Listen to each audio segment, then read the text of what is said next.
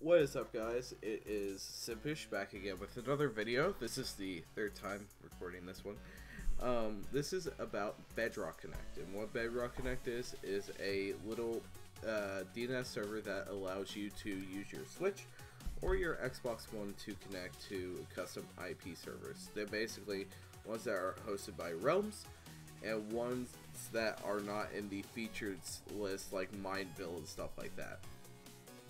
Now, I don't have an Xbox to show you the process over there, but it should be very similar if you go to the IP settings in your settings. But I'm going to walk you through how to do it on this. I do not have video output on a Switch Lite, so I'm going to describe it to you as best as possible. You're going to go to, you're at your main menu, you want to go to System Settings, scroll down to Internet, Internet Settings, and it's going to say searching for networks. It probably it takes a second, and you're selecting network you're currently connected to, and you're going to go to change settings, and you're going to scroll down to where it says DNS settings, which it should be set to automatic. If it's set to manual and you've already set in DNS server, uh, I'm going to show you what to set your primary DNS to. Let's switch it to manual and it should give you a primary and secondary DNS.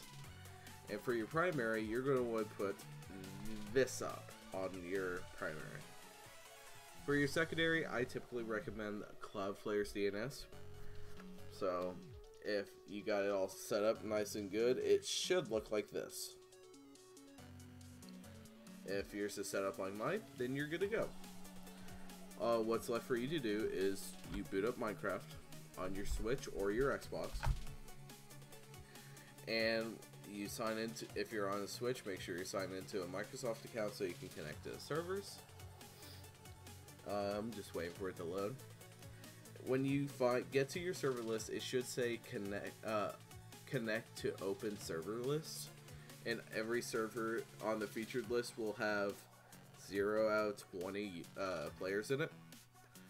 And if you see that, you know you've done it right. So, you know, like I said, make sure you're signed into your Microsoft account. It's fetching servers right now. And as you see, once it loads their MOTDs, they all say join the open server list. They all have 0 out of 20 of them. Make sure you're on your featured servers. And it doesn't matter which one you... Can, I'm out of focus. Hello. Um, it doesn't matter which one you connect to. So, just select one. Pick your favorite color, I don't know. And you just wait for it to connect. And what Pugmatt, Pugmatt's the uh, developer of this. This is super cool. This adds, this like completes these versions of Minecraft for me. This is what it was missing. It's like I'm restricted to only like what six servers and paid, and I have to pay uh, Mojang for a regular server that people on different networks can connect to. It's a joke. Now, if you liked servers like the Hive, Mineplex, CubeCraft Games, Lifeboat, and Mineville, those are not gone when you connect to the server list, which looks like this, by the way. Whoop. Looks like that. Um, I mean, you can see all those servers are listed. And I had a server called Fallen Tech on my uh, list, which is not normal. So at the very top, you'll have connect server and remove a server. You just it, when you add a server, you want to hit that connect to a server. If I can get focused. But you can see that it has the server address. It'll automatically fill out the port for you, or make sure that the server uses the uh, typical Bedrock port. And at the bottom, it'll have a switch that says Add to Server List, which basically means do you want to make this permanent, or is it just like a direct connect that you might not play on this one again?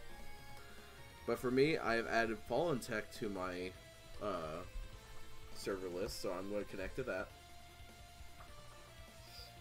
and if you, I'll leave a link to a I, a server aggregator so you can find servers in the description. I'll also leave Pugmatt's GitHub for Bedrock Connect because you don't necessarily have to use what's up here. This is just easier. You can set it up yourself, but I feel like that's really complicated and unnecessary. But as you can see, we are in Fallen Tech, a Minecraft be uh, Bedrock server that normally you would have to be on a phone or a PC to play. Now, one of the reasons that uh, they may have restricted these servers is that they can't guarantee performance, so the server might lag. They can't guarantee your performance, that the server might lag you on the device end because, you know, they can't control how crazy or how complex the buildings are in the server, which I don't think should matter. But these are pretty unreasonable reasons uh, but uh, this adds what was missing from the Switch version and Xbox version of Minecraft. So this is all I have. If you liked this video, if you thought it was cool, if I added a feature, or I didn't add it, Pugmatt did. Don't forget that. Um, if I helped you discover a feature for your version of Minecraft and you enjoyed it, uh, leave a like, comment if you didn't like it or if you have questions. Drop a question if you disliked it. Dislike it. If you like these videos, subscribe for more. I, I might be making more of these. I'm probably going to make like some JoJo content because I really like JoJo's Bizarre Adventure. So stay tuned for that. Um, but otherwise, this has been Simpish, and this is how you connect your Nintendo Switch or Xbox One to any server that is from. Oh, wait. I have to show you one more thing. Um, if you watched my last video, I showed you how to connect a Bedrock server or a Bedrock client on like PC to a Java server. and I would like just like to demonstrate that the process is oop, I'm moving myself around that this is universal. This does work for Switch. So basically you have to use Geyser which if you don't know what Geyser is, like I said, check out the last video. I showed you how to set it up. It's really, really cool.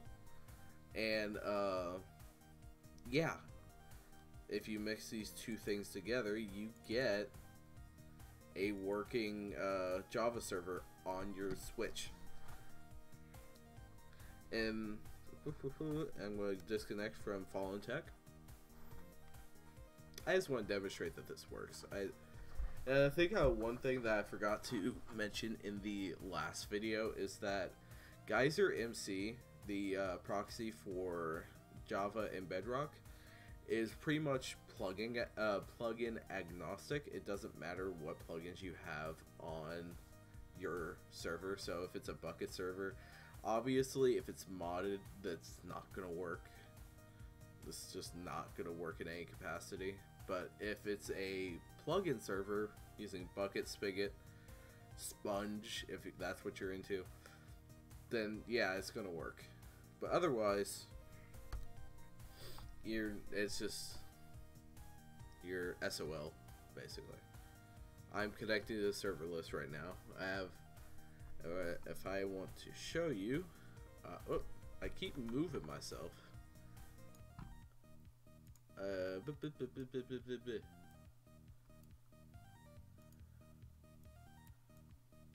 if I want to show you, I have my geyser running. And I just connect to the server.